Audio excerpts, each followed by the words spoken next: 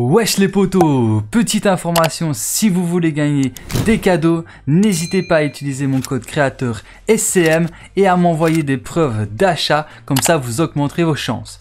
Et sur ce, je vous souhaite à tous une bonne vidéo, let's go Wesh les potos Bienvenue sur ma chaîne YouTube, c'est soit cool au Mike et dans cette vidéo je vais vous montrer un truc que j'ai découvert dans la boutique de Fortnite ce vendredi. Un truc assez stylé, un truc qui va vous permettre de pouvoir tester votre skin et pouvoir se le faire rembourser peu de temps après. Et cette technique fonctionne en illimité. Donc euh, je pense qu'ils vont sûrement le patcher ou ils vont peut-être le laisser là, je sais pas. Mais cette technique ne fonctionne que avec les packs de skins.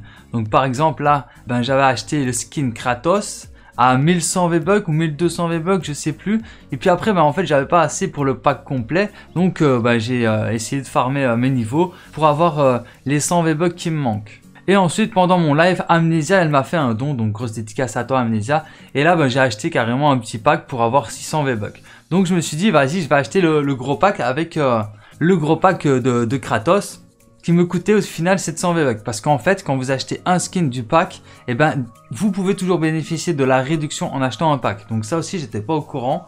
Mais euh, voilà, si vous, voulez acheter, euh, je sais pas moi, rien que le skin à un moment, vous le testez, vous aimez bien, vous voulez acheter le pack, ben vous aurez quand même la réduction des 1100 V-Bucks qu'ils offraient si vous achetez le pack. Donc ça aussi, c'était bon à savoir. Donc là, il me manquait 700 V-Bucks, donc j'ai rajouté 700 V-Bucks pour acheter le pack.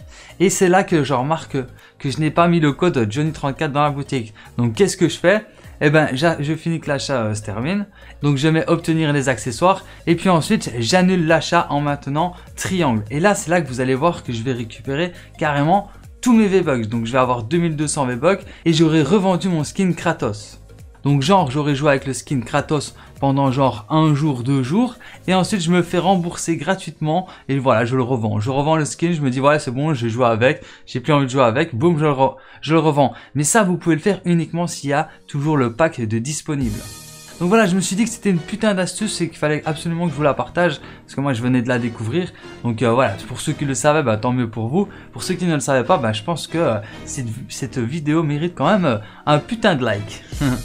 Enfin bref, je pense que je vous ai tout dit, j'espère que cette vidéo vous aura plu. Si c'est le cas, n'hésitez pas à liker, à partager et à vous abonner si ce n'est pas encore déjà fait. Et sur ce, moi je vous dis à très bientôt pour plus de vidéos. C'était soit le mec et ciao. Peace.